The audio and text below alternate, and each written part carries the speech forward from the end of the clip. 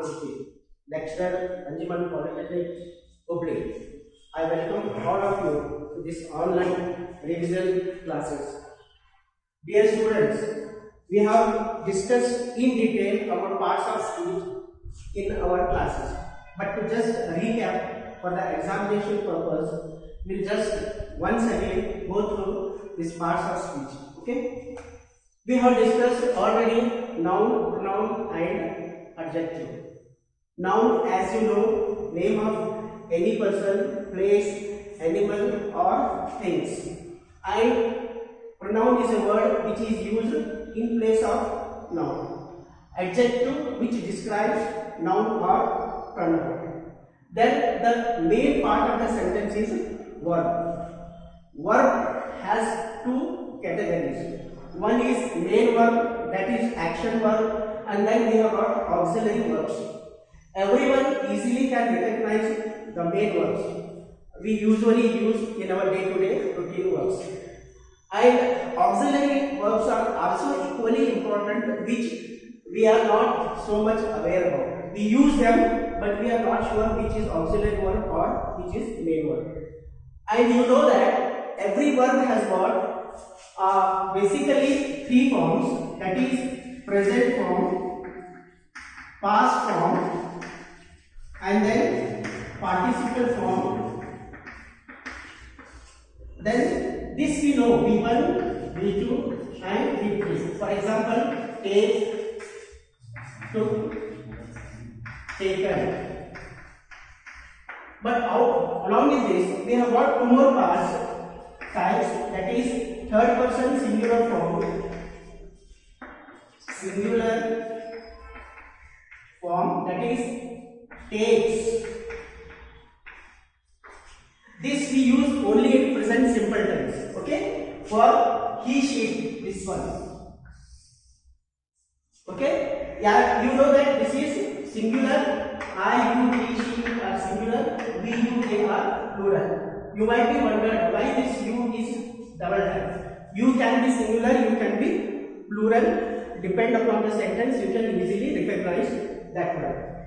So, third person singular that is takes, it takes yes or es suffix.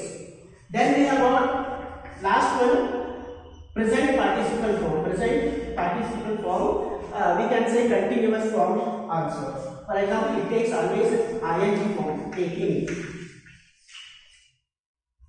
Okay, every verb has got these forms. Usually five forms, but we usually talk about three forms.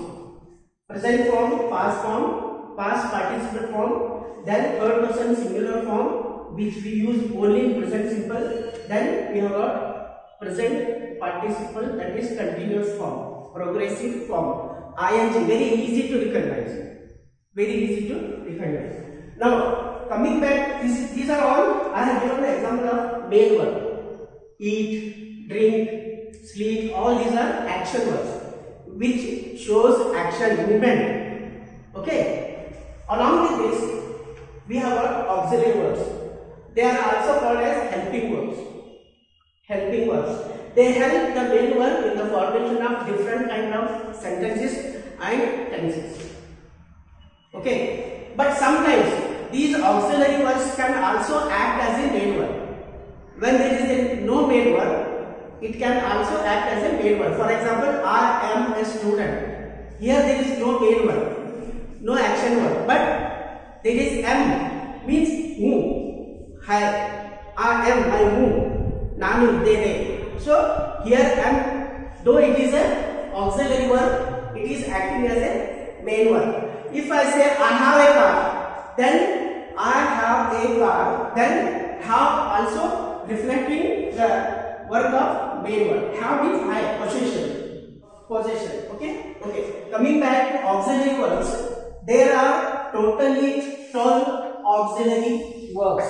Out of that, three are called as primary auxiliaries and these other nine auxiliaries are called as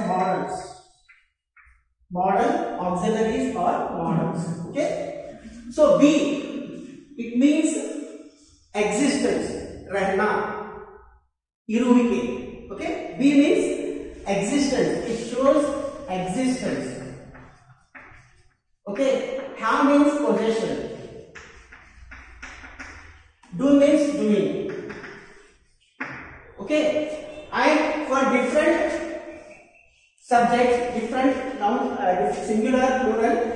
Are different auxiliaries. M is always taken by I. R is taken by plural subjects. We, you, they. Is is always he, she, it. This is singular. Okay? I am a teacher. You are a student. He is my friend. See, here there are no made words, but these auxiliaries are acting as a word. But many a time, 90% of the time, if we see that sentences, both auxiliary and made words are there in the sentence. I am teaching. So here auxiliary is also there, made word is also there. So this is very important. Be, रहना, am, are, is for different pronouns, different auxiliary we use. This is past form of be. Was, where. This is the past form of be. Was and where. Participle form is be. The same way, have shows possession means past mein hoga. It shows ownership, milkiyat. Okay? Have, I have a car, but he has a car. I have a car, but Ravi has a car. Faisal has a car. Ibrahim has a car. So the participle also had. Okay. Then have got do means doing. Do does for singular.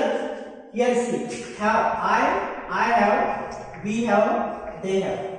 But has, he has, she has, it has. Okay. Do, I, we, you, they. Okay. I do, we do, you do, they do. But he does, she does, it does. Did is the past form of do. I did my homework. Okay. Then this is did is common for all the nouns. Done also it is a past participle we use in perfect tenses. Then we have got very important can. Can is a modal verb. They don't have uh, past forms generally, but can has got could, may, might, will, and shall. These are the symbol of future. They have got the past forms. Can expresses ability or capacity.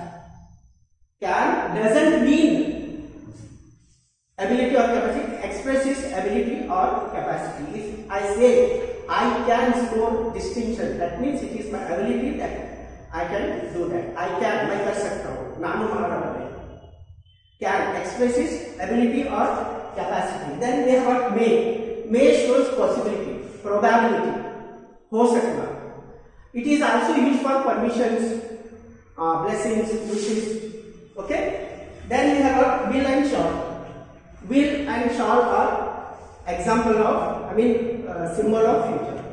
Will and shall are symbol of future. They expresses future. Will normally used for all the nouns. I will, you will, she will, it will. But previously, uh, compulsorily shall was used for that is, I and we. First person is I and we. Singular and plural. Compulsorily shall used to be used in the previous time, but today, nowadays, will is commonly used for all the pronouns. Okay, all the pronouns. But shall is also uh, used for permissions. Okay, etc. Then must shows obligation, duty. Okay, must is uh, must must use for obligation or duty. It shows compulsion. You have to. Uh, we say you must attend the classes regularly. We say many times, and you must be in the college at nine thirty. So that is obligation, general rule. You have to follow it. Ought to is also similar to that. It is a moral duty. Naitika kartavya. Akhlaqi first. You ought to respect your parents, teachers, elders, neighbors. This is moral. Akhlaqi. Okay? Then we have got need shows necessity. Necessity. Okay? I need your help. We use that word many times. Then they, dhairya, must, we dare not go into the graveyard, graveyard in the midnight. So it expresses dareness, dhairya. Okay, used to be used for discontinued habits. Discontinued habits. For example, if I say when I was young, I used to swim 10 kilometers. I used to swim 10 kilometers or I used to run 5 kilometers. I used to. किया करता था that means I don't follow it now. So used to is very important auxiliary modal uh, that we use for discontinued habits. I hope you have understood the auxiliary verbs and uh, at the end I would like to thank the chairman, all the management members of Anjuman Islam Hubli. Thank you sir. Thank you very much.